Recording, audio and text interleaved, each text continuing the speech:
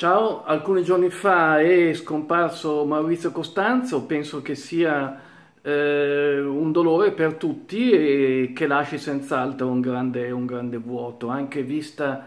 la pochezza dei giornalisti eh, che ci sono attualmente, penso che Costanzo fosse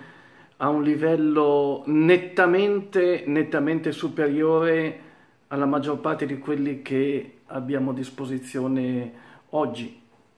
come cultura, come modo di fare, come eh, presenza, come eh, capacità e generosità anche nell'intervistare le persone, lasciando loro lo spazio giusto, cioè Costanzo non ha mai voluto essere protagonista delle interviste come invece avviene oggi, dove l'intervistatore o intervistatrice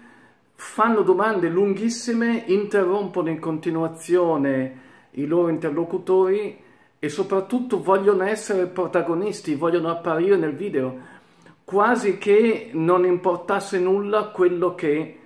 eh, gli interlocutori hanno da dire. D'altronde li hai convocati tu lì, quindi dovresti dare loro il giusto spazio. Invece Costanzo no, è sempre stato eh, così eh, generoso, ecco, vorrei dire questa, questo termine, anche se forse non è il più appropriato, ma molto corretto, professionale,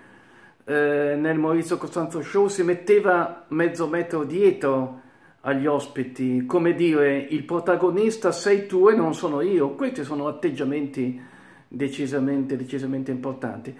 Eh, ci lascia senz'altro un grande vuoto, eh, non sono certo io il primo a dirlo, io non sono nessuno,